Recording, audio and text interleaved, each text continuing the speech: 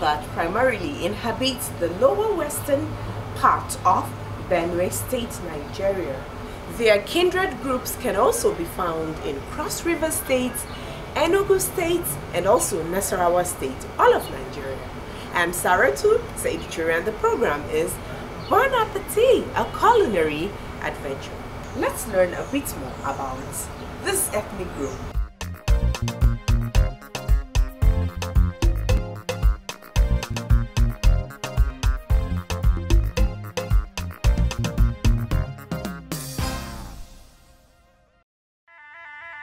Arguably the fourth largest ethnic group in Nigeria, the Tiv people are an ethno-linguistic group in West Africa with a population of over 7 million throughout Nigeria and Cameroon, with its language spoken in Benue, Taraba, Nasarawa, Plateau, Cross River, as well as the Federal Capital Territory, Abuja.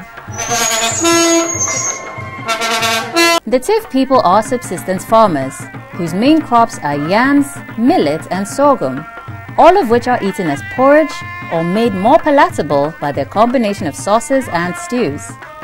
It is said that the typical Tiv person does not hold back when it comes to food. I know and very sure till date for a Tiv man, he cannot eat alone. That's communal eating. You know, they just put the food, they dish so much, anybody coming will just come, join and eat. When I give you food and you tell me, Uyo, I feel happy that yes, indeed, you've eaten the food and you're pleased with my food. And so when I visit you and you give me food, to appreciate your efforts in cooking the food and all that you've gone through it, I'll simply tell you, Uyo. And when I want to appraise you more, I tell you, Uyo, Ishi. Meaning, in fact, you have done me well, so well. Tiv people are known for their artistic prowess, which dancing is one of them.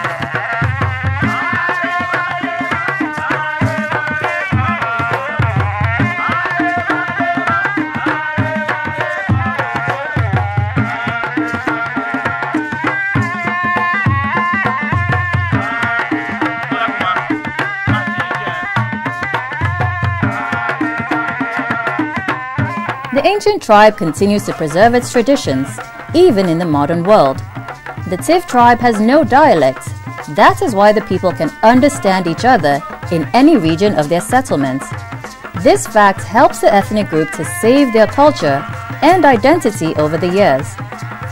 Yeah, to the best of my knowledge, I, I think um, the Tiv people do not have different dialects. I know that, um, you know, there are little twists and turns when um, a Tiv man speaks, maybe someone from Gwer West, a Harry man, when he speaks, you will know. When the Barif man speaks, you will know that this one is Barif as a Tiv person. Our culture binds us together. We all know the black and white, which is a binding factor. Anywhere you see, you just know that this is a Tiv person. And um, our food, we have similarity in eating. And so when you meet a Tiv person, in fact, from the food, when a Tiv man tells you, Nam Pocho Haram, you know, Nam Pocho Haram Kome, you know what the person is saying. Pocho is a very, um, it, it's a household name among the Tiv. It is very difficult to find a Tiv person uh, um, in diaspora or away from home that will not love his brother or his sister or love each other. So I think the fact that um, we do not have dialects that, you know, separate us binds us together because we have cultures, we have similar things that brings us together. It's a very normal thing. The culture of the tribe has retained its uniqueness, customs, folk crafts, and art.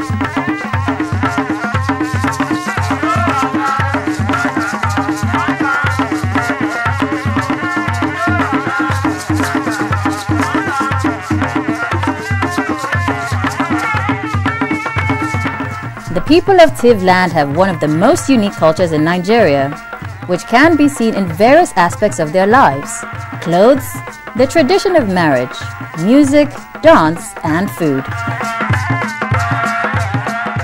Today on the program, I have with me a chef who will be showcasing Assumption's delicacy, which is enjoyed by the Tiv people of Nigeria. take a look at her profile.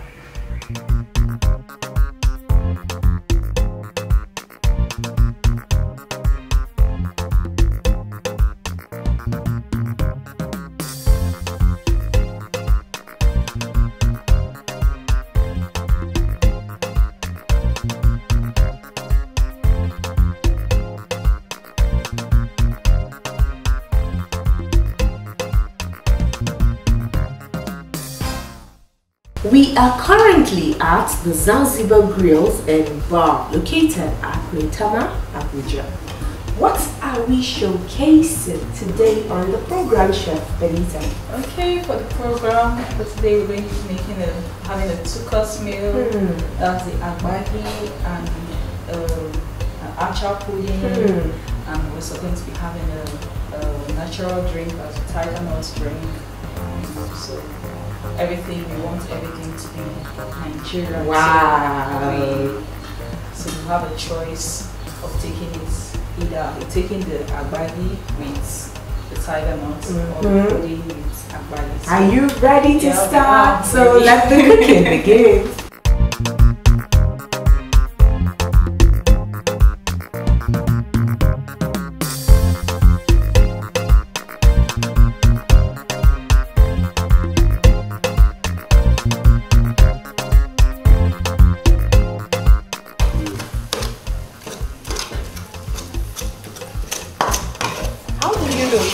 When it's fully mashed?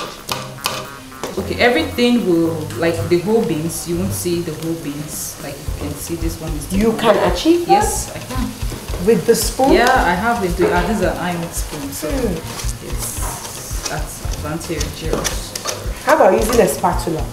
Ah no, It's spatula no, no, spatula is too soft for it. Wow. Ah, even a baby can eat this. Yes, yes, yes, yes. That's the idea. Wow. So at this point it's mashed and ready to be prepared. So this is where the real cooking begins. Oh. At this point I'm going to add in the water and the rest of the ingredients. That's the palm oil, pepper, onion, um, the fish, dried fish, crayfish, and then seasoning to taste. Just add the water first. Okay, thank you. Then I'll add the um, the pepper. Okay. Yes. So How much of it? Okay, that's yes, just yes, yes. So I've added in the pepper. So I'll add in the onion. So you can just help me to mix it. All of it? Yes, all of it. Yes. Okay. So stir it a bit. Then this is I'll add in the palm oil. At this point? Yes, at this point, oil. Just please turn it when it, when you um. when don't you're measure with a spoon? No, no. uh, When you're yes, that's fine. Thank you. Thank you. Okay, so can you see? Adding the whey right now. The fish should be the last thing. All of it? Yes, all of it. Yes.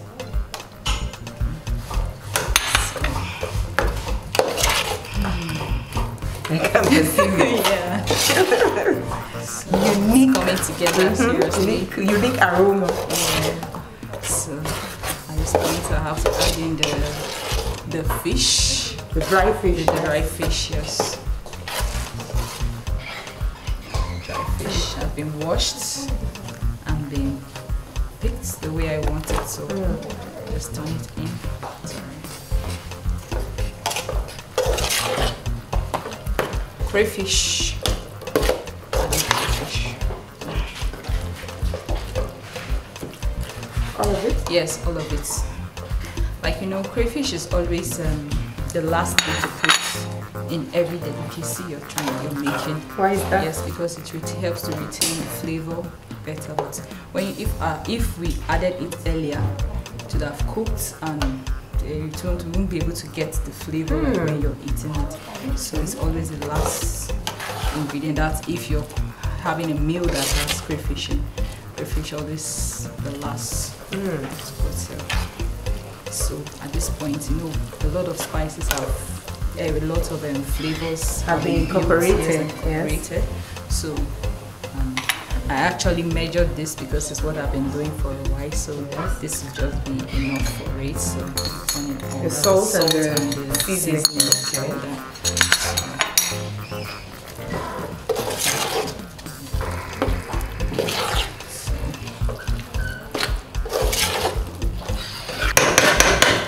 not going to add any water. I'll just increase my um, flame a little bit and let it steam. So once it's steam, and baki is ready. Ready to serve. so we'll let this sit for how long Now set it sit for at least two to three minutes. Okay. Yeah, if it's and we're using an industrial gas, so industrial gases work at speed. So It will help Yes. with the steaming Yes, to be faster. All right. And afterwards, the agbaki will be ready to serve. Wow. Agbaki is ready.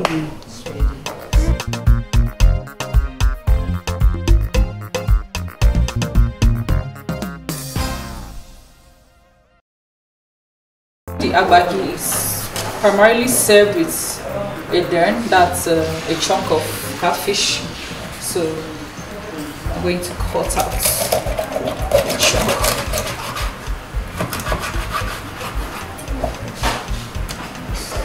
These are the ones I need, so I'm going to wash it, but still have those things. I'm going to wash it properly and then spice it up, marinate it a while, then fry it You're marinating for how long? for at least five minutes. Just uh, five minutes is good. Okay.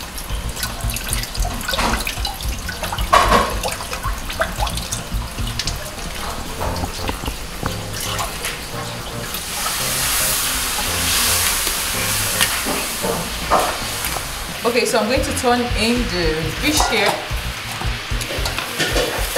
Ready to now put in my pepper.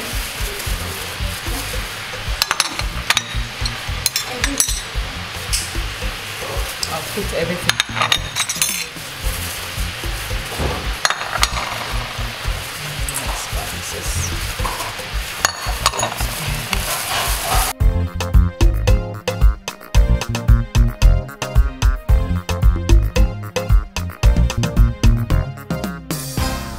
Okay, this has marinated for Yes.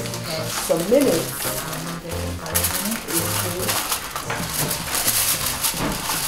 Oh.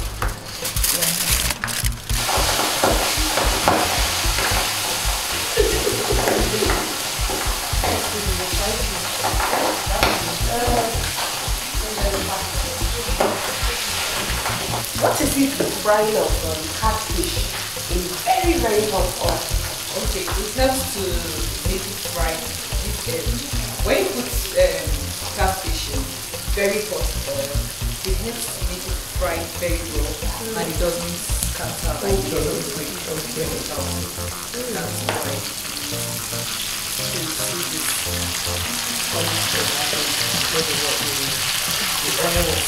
you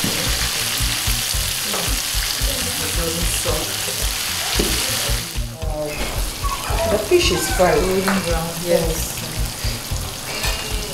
and it's dry. Yes, It's not soggy. Yes, and it's not breakable. It's the best way to fry catfish. Obviously.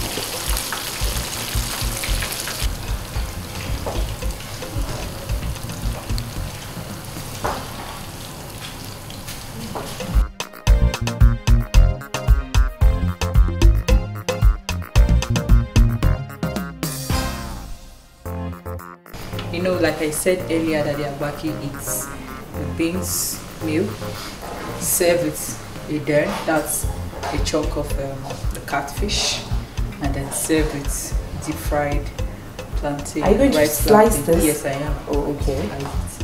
Let's So- see you do it. Yes. The salt, trying to spice it up a little bit. Yes.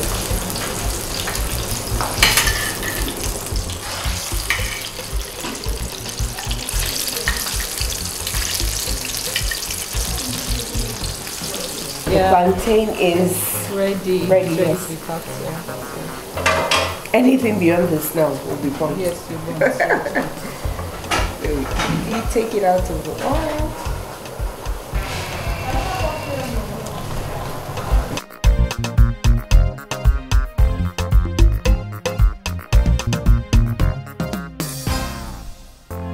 For my tiger nut drink, this is the ingredients I need to make it um, complete. The main ingredients is definitely the tiger nuts. So this is my coconuts. It will go into it as well to serve as a natural sweetener. So I don't need to add sugar. sugar. So there's a date as well. So I don't need to add. And they are all sweet. Yes, they are all sweet. So to complement each other. Now.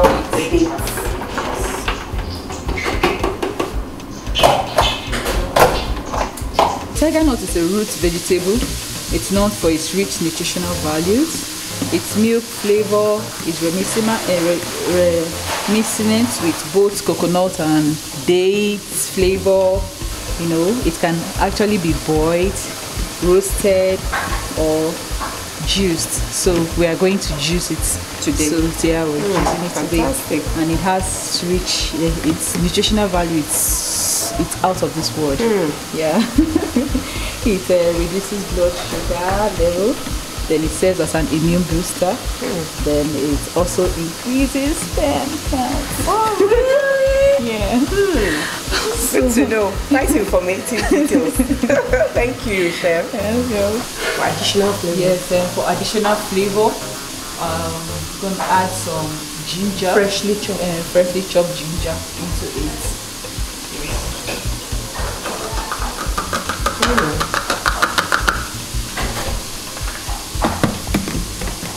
And blend further. Yes, I'll blend further.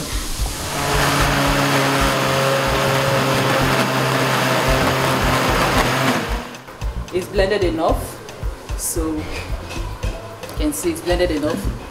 So I'm going to take it out right now and we'll sieve it. And after the sieving, our tiger nut drink is ready.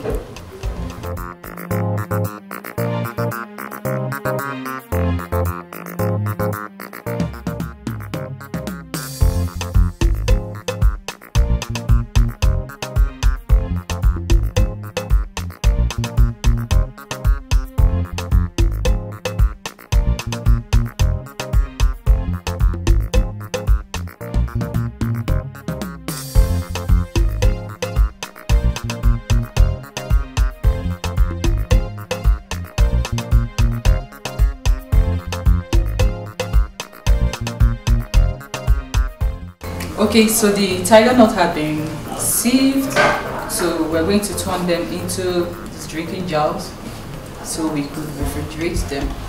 And it's served, it's better served cold. So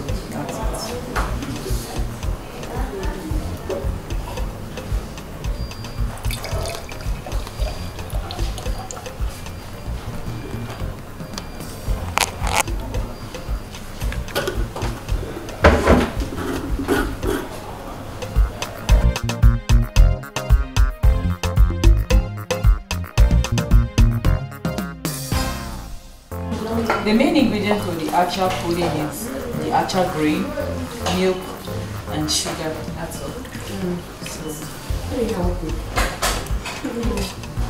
A calabash should have been best.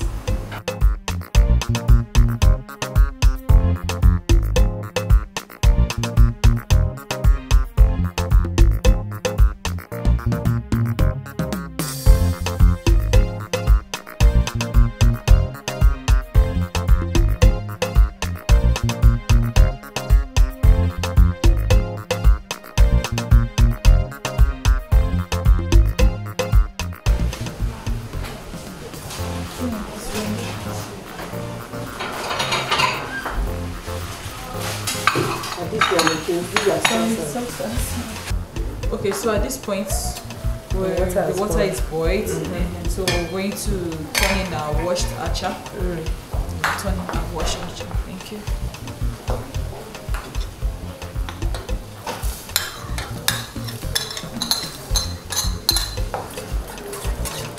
Nice experience. Okay, so why I I I wait wait for the acha to cook, we prepare the garnishing. The grapes. Remember when I started, I said it could be garnished with uh, any fruit of your choice. So we're going to garnish ours with um, grapes and kiwi.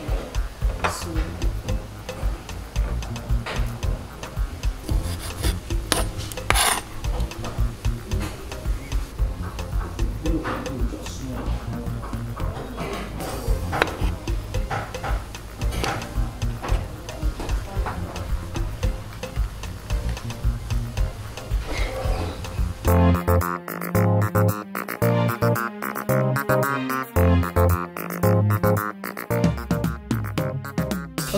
The garnish. This is a spring onion, so you just take a little bit of it. You know, it's the flavor of spring onions is Mm. just to give it a Delicioso. greeny color. Since it's tasting It's time, tasting yeah, it's tasting time. time, so I can wait taste to everything. taste.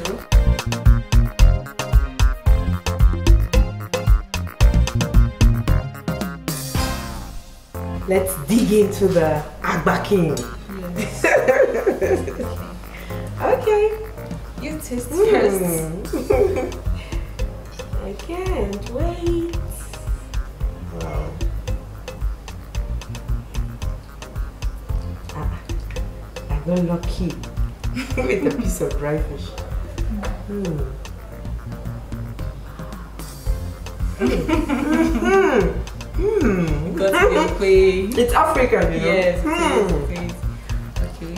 I want to feel what you felt. Mhm. So I think I got more luckier. Yeah. We're bringing Africa Africa. So It's beautiful. yeah. So, We ought to all taste this. Try it out in your houses. yeah. Mm-hmm.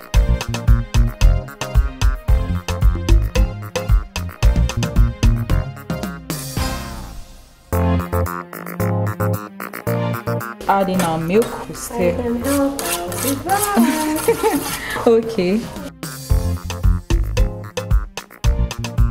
Adding our sugar.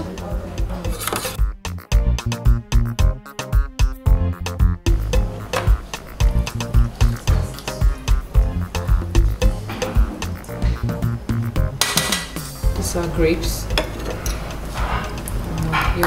Take your pudding with a little bit of fruits. Of course. You feel the fruits. To add an extra flavor to it. Yes. um, And the pudding, Pudding is is ready. well done, well done. Thank you. Okay. Thank you. Okay, we are done with the tasting of agbakin. Now we taste the acha pudding. Mhm. So, since you're the guest, I'd like it. to be. It's beautiful. Can't wait to dig into this too. Whoa, look at them. Swimming in that pudding. Hmm. Okay.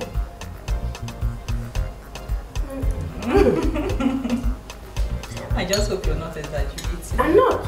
It's lovely. You're making the viewers want to come in No, here, you know. But this is something that's readily available. Okay, so These thank you. ingredients are readily available, and anybody could try it out at home. Test it too. I feel what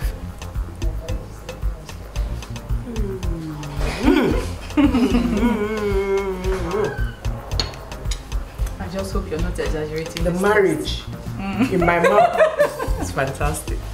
Honestly. Wow. And one could take this without sugar, you know? Yeah. Mm-hmm. Because there's already a bit of sugar popping out from the kiwi and yes, the grapes. Yes. Diabetics should take advantage of Yes. this, honestly. It's beautiful. Well done, Chef Benita. Thank you. It just occurred to me that we showcased, are you getting it? Yes, I do. The core central part of Nigeria, the middle belt, Yeah. you know, in through the Agbakin meal, Yes. all right? Yes. And then we now came a little bit, you know, down to um, Jos. Yes. We showcased the acha, Yes. It's planted in Jos, and of course, if you live in Jos, there is no way you will say you do not know what acha Acha is. Or if for whatever reason you've had something that has taken you to Jos, you might have encountered the acha pudding, which you kind of hyped up a bit with the um, With incorporation garnish, of the uh, fresh um, fruits, you know, the grapes and the kiwi. And then we now came back to Kano. And we're about to taste the Kuno Aya. Kuno Aya, Cheers. tiger nut. Hmm. Let's see what it tastes like. This one that is prepared by you.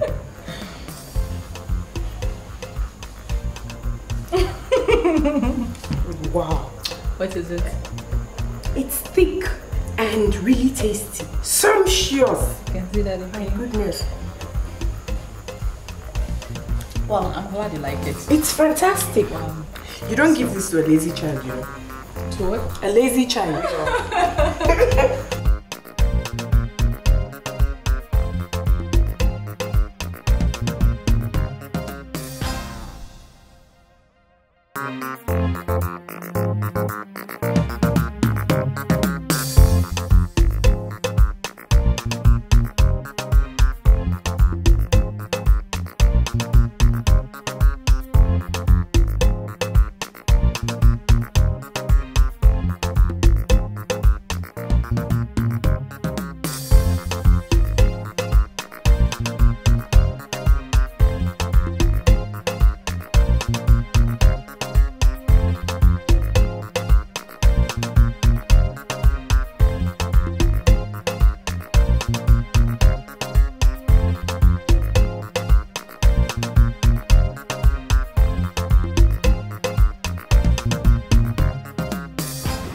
to Bon Appetit, a culinary adventure, you've learned about agbaki, which chef Benita Zaki graciously prepared today on the program.